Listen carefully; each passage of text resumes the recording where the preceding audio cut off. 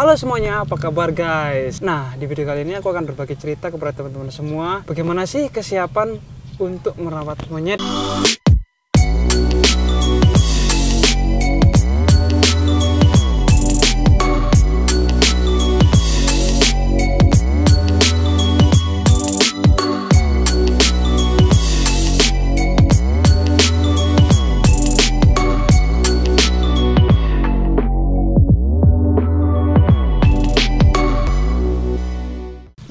Banyak kepada teman-teman semua yang sudah klik subscribe-nya. Nah, guys, eh, banyak yang bertanya si Ipin ini bagaimana sih cara merawatnya dari awal aku beli sampai sekarang. Nah, aku sedikit cerita aja, guys. Di awal dulu aku beli si Ipin, teman-teman mungkin yang ngikuti videonya monyet si Ipin ini eh, banyak sekali hal-hal yang sudah aku bagi dari merawat si Ipin waktu itu dan eh, memandikannya, ngasih makan dan sampai sekarang Ipin sudah besar kayak gini. Ini mungkin dia usianya sekitar tiga bulanan guys. Dia takut kalau di luar. Itulah itulah yang kamera kamera kamera. Ipin ini kalau di kalau di jangan jangan itu mic Ipin ini guys kalau di, kalau di luar dia takut dia nggak nggak nggak apa nggak nggak biasa keluar keluar jadi dia takut. Nah biarkan dia kayak gini ya. Ini talinya memang sengaja taruh di ini di apa namanya? Sininya guys. Biar apa namanya? Ya takut dia apa kabur. Kaburnya tuh nggak kabur. Kaget gitu loh takut dia nggak terkontrol. Nah jadi teman-teman di awal dulu aku pelihara ipin ini memang aku taruh dia di kardus dulu ya waktu bayi sekitar satu bulan dua bulanan. Dan banyak banget yang bilang eh, apa penyiksaan lah inilah itu. Itu sebenarnya taruh di kardus teman-teman. Dulu sih Ipin ini pada awal-awalnya aja. Pada akhirnya sekitar usia dua bulanan udah aku pindah ke kandang yang lebih besar. Malah kandangnya itu ada kasurnya di bawah. Dan dia sangat ya aku harus buat dia nyaman pokoknya di sana. Terus Ipin ini banyak yang komentar mungkin induknya dibunuh atau di apa.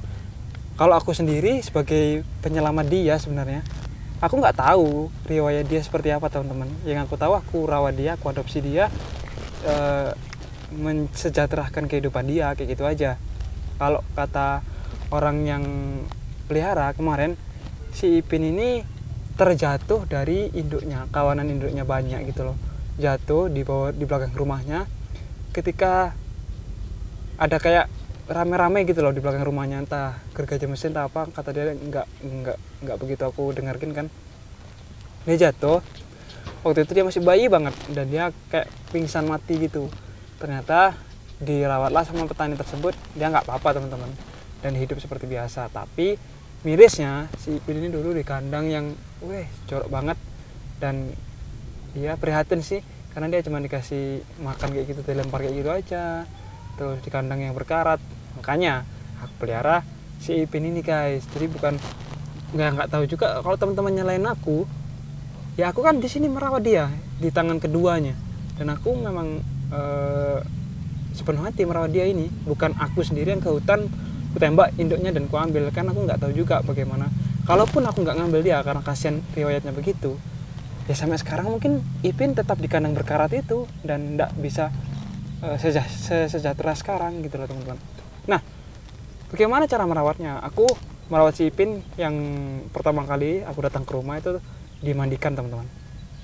Si Ipin dimandikan. Mungkin sekitar sampai usia tiga bulanan si Ipin ini baru dia eh, ngeh sama yang namanya air. Karena eh jangan itu mik. Bentar ya. Eh jangan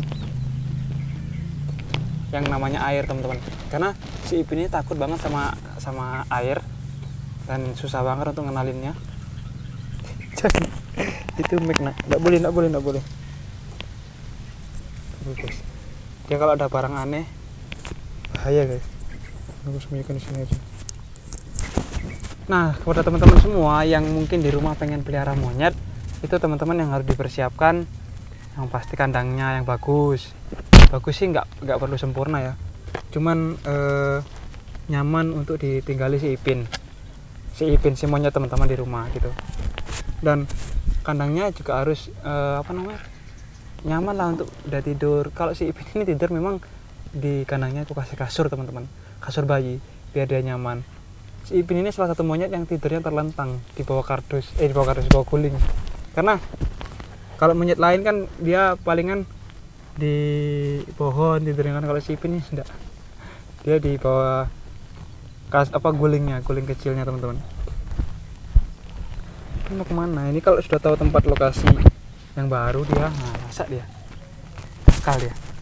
Tapi kalau belum tahu tempatnya dia dia diam aja teman-teman. Nah terus teman-teman yang teman-teman butuhkan tentang makanannya.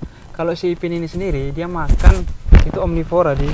Dia makan segala apa pun yang dia makan dia mau kayak nasi mau buah mau susu mau. Nah kalau perihal untuk susu si Ipin ini maunya susu Z. Karena apa? Susu Z itu manis. Kalau susu Denko susu yang lain-lain ini nggak mau teman-teman. Karena eh, nggak manis kan? Kalau susu Z weh manis. Kalaupun susu itu nggak dikasih aduh nggak dikasih gula si Ipin ini apa kalau susu lain dikasih gula maksudnya dia tetap tidak mau teman-teman. Dia maunya susu kayak gitu. Nah perawatannya tiap hari gimana? Perawatannya tiap hari itu aku seminggu eh seminggu. Setiap hari mandi dua kali guys. Si ini mandi dua kali. Terus eh, makannya palingan bisa sampai tiga kali sehari sih. Kadang kalau dia lagi diam-diam lagi lagi santai gitu kan dia aku kasih makan eh, permen terus kasih makan biskuit dan makan makanan yang ringan lah pokoknya untuk cemilan dia. Kayak gitu. Nah kesulitannya kesulitannya ah satu lagi popoknya. Popoknya itu terbuat dari softpack guys. Softpack eh, ukuran paling besar. Karena ini IP ini kan udah mulai besar. Jadi softpack yang ukuran besar ukuran besar itu sehari ganti dua kali.